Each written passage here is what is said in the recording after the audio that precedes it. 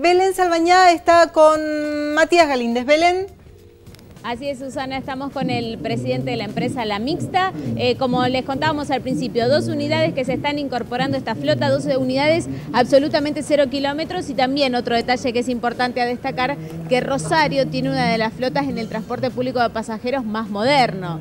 Bueno, y acá estamos comprobándolo, ¿no, Galinde? Buen día. Así que tal, buen día, buen día para todos. Bueno, sí, estamos haciendo un nuevo paso importante en inversión de flota. Hoy estamos inaugurando lanzando al servicio 12 unidades 0 kilómetros de eh, unidades Mercedes-Benz, carrocería Metal Park, con bueno, la, última tecnología que hoy en día hay en el mercado nacional de, transporte. Recién hablamos de la importancia que tiene, bueno, estas nuevas flotas eh, tienen un servicio que se va a brindar exclusivamente para personas con capacidades diferentes, con problemas motrices fundamentalmente. Hoy en día, sí, todas las unidades que nosotros estamos trayendo son eh, unidades con piso super bajo, como se le, se le llama, con suspensión neumática que permite el acceso a, través de las rampas a personas con movilidad, movilidad restringida. Son, son unidades preparadas en ese sentido.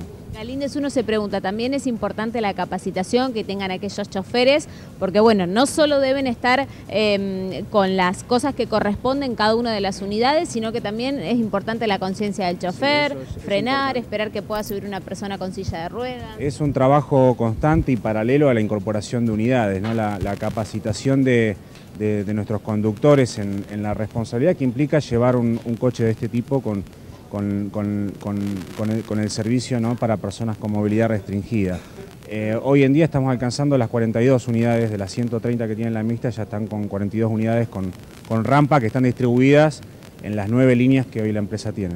¿Tienen registros si las personas eh, fundamentalmente que se movilizan en sillas de ruedas tienen como costumbre tomar el transporte público de pasajeros, lo ven viable? Es, eh, de hecho nosotros trabajamos muchísimo eh, en la información, no solamente uno tiene que tener unidades y conductores preparados, también lo que necesitamos es contar con información en línea, comentándole a las distintas asociaciones que, nuclean a, personas con, con movilidad restringida en qué horarios están pasando, cuáles son los recorridos y bueno, estamos en, un, manejo de información constante con ellos. La última pregunta que le hago es, ¿para qué líneas van a ir estas 12 nuevas unidades? Estas 12 unidades que permitíme agregar que son unidades climatizadas, o sea que estamos, eh, ya hemos incorporado en abril las primeras 5, estas son 12, con lo cual llegamos a las 17 unidades ya con, con eh, frío-calor, digamos.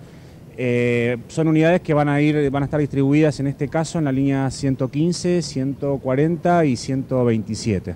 Esperamos en, en, poco tiempo poder ir agregando a las otras líneas eh, de la mixta coches con aire acondicionado. Por favor. Bueno, Fundamental, Belén, para el cálido verano rosarino. Además, eh, lo que veíamos recién ¿no? en los afichecitos, no es solamente para discapacitados, personas en sillas de ruedas, sino también para ancianos, para mujeres embarazadas que ven reducida su movilidad por un tiempo, o, gente con yeso, viste que a veces no tiene otra que viajar en colectivo. Eh, es muy útil esto. Es, eh, la verdad, los que hemos... Bueno, en Europa hay de estos y es mucho más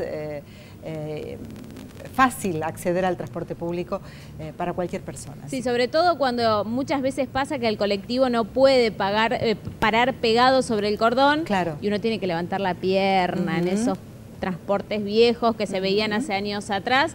Bueno, estas nuevas 12 unidades sin dudas que vienen muy bien para todo el transporte. En un ratito vamos a hablar con la intendenta, así se, se está viendo el movimiento, están llegando diferentes autoridades, así que en un ratito hablamos con ella también. Bien, fantástico, Bele, gracias. Chao, hasta, luego. Ahora nos vamos otra vez con Belén Salvañá en la presentación de los colectivos con la intendenta Mónica Fein. Contanos, Belén. Así es, Susana acaba de terminar el acto con importantes anuncios, intendente, y fundamentalmente que tienen que ver con la carga de la tarjeta sin contacto. Cuéntenos de qué se trata y cómo lo van a poder llevar adelante cada uno de los usuarios del transporte. Buen día. Buen día y bueno, al presentar estas 12 nuevas unidades de la empresa mixta y contentos por ir mejorando nuestra flota que tiene en promedio 3,4 años eh, hemos anunciado que desde el día de mañana estará disponible en todas las red link de la ciudad la posibilidad de, la recarga. Esto significa que colocando nuestra tarjeta de débito, la tarjeta que cada uno tiene, eh, obviamente después de poner su código, dentro de las opciones que van a aparecer, que, aparece en la pantalla está eh, otro tipo de operaciones, ahí aparece la operación de cargar transporte público, hay que elegir esa opción. Una vez que uno elige la opción cargar transporte público, aparecen dos tipos de tarjeta, la SUBE y tarjeta sin contacto de Rosario. Al elegir esa aparecen distintos montos. Pide el número de tarjeta sin contacto, tienen que tener la tarjeta sin contacto en su mano.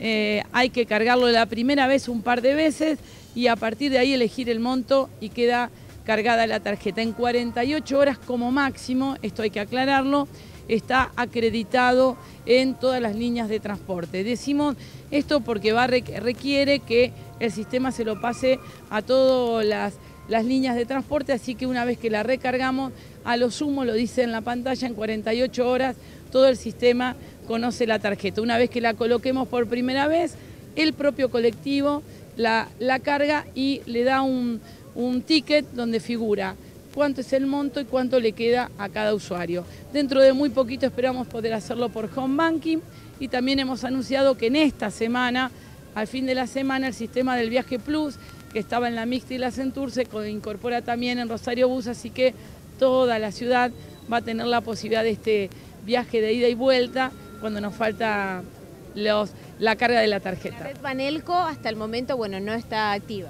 Nos ha dado un turno, ustedes saben que, que, nosotros lo estamos solicitando. Creemos que para mediados del año que viene también se va a hacer por la red Banelco. Por ahora vamos a hacerlo en link, dentro de poco por Home Banking y a mediados del año que viene por la red Banelco. Así que vamos a seguir incorporando tecnología para que la recarga de la tarjeta sea lo más sencillo posible para todos los ciudadanos. La gran ventaja es que no habrá que esperar que las cabinas de recarga sean las que estén abiertas, en cualquier cajero de la red Link entonces. Efectivamente, en cualquier cajero de la red Link, en un término máximo de 48 horas va a estar cargada y obviamente continúan todos los puestos de recarga que hoy existen en la ciudad. ¿Cuáles son las características de los colectivos que se presentan hoy? Bueno, la verdad que estamos muy contentas porque estos colectivos son de última generación, son 12 colectivos de piso bajo, es decir, con accesibilidad, son colectivos con aire acondicionado y además son colectivos de, última generación con motor trasero y caja automática, que permite obviamente a los choferes poder este, concentrarse en su viaje, tener mejores condiciones, así que eh, con, con esta incorporación, más la que ha hecho las otras empresas, Rosario tiene un promedio de flota de tres años y medio y nos parece que eso es muy, muy importante. Eh, preguntarle por el otro tema, ¿está garantizada la realización de colectividades? Usted, ante los problemas que hubo, tuvo que hacerse cargo y, ponerse al frente de la situación porque había colectividades que no las querían hacer. No, había muchas dudas porque estamos, va a ser una colectividad de transición en un espacio eh, nuevo, eh, porque Avenida Belgrano se está terminando, porque el Parque Nacional a la Bandera está recién realizado, así que eh, ayer evacuamos todas las dudas que aparecieron en las distintas colectividades. Vamos a hacer colectividades el 15 de noviembre. Eh, realmente vamos a adaptar el predio, nos vamos a ir un poco más hacia el sur eh, y por supuesto que ayer acordamos con todas las colectividades algunos cambios en el vallado, en el estacionamiento que van a ser necesarios en esta nueva realidad. El mayor temor tenía que ver con el tema de seguridad y la posibilidad de tumultos. Bueno, lo hemos abarcado ayer, hemos estado con las áreas de seguridad para ver cuáles van a ser las salidas, las entradas. La verdad que creo que, van a salir muy bien estas colectividades 29 para el año que viene, las colectividades 30, prepararnos para, bueno, eh, recuperar el lugar eh, inicial y también hemos quedado con colectividades que me parece importante que cada vez que termine colectividades juntos vamos a Em, también recuperar el predio tan hermoso que, hoy tenemos para que quede exactamente igual que antes de colectividades. Respecto al apoyo que le van a dar de parte de la Nación en seguridad, ¿en qué barrios, Intendenta, no puede faltar este apoyo de Gendarme? Bueno, nosotros nos vamos a sentar con la provincia, tenemos claramente relevado cuáles son los barrios donde ha habido mayores casos de violencia.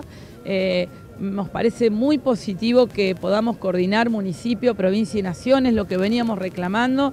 Así que vamos a aportar nuestra visión de los barrios donde se han dado mayores casos, sobre todo de muertes violentas, y coordinar con la provincia para la presencia de gendarmería en esos barrios.